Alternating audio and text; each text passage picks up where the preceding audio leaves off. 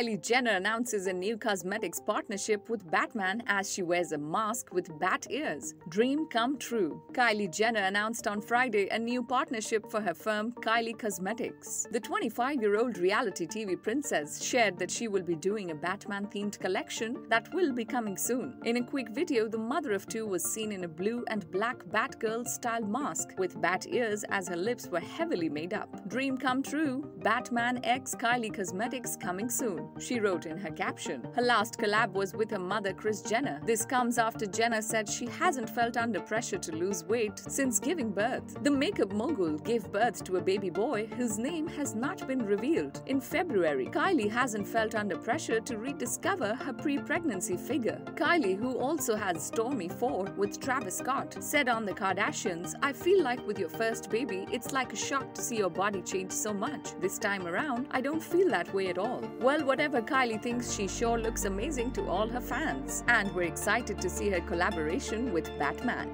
Let us know what you think about this story in our comments below. Like, share, subscribe, and don't forget to press the bell icon for notifications.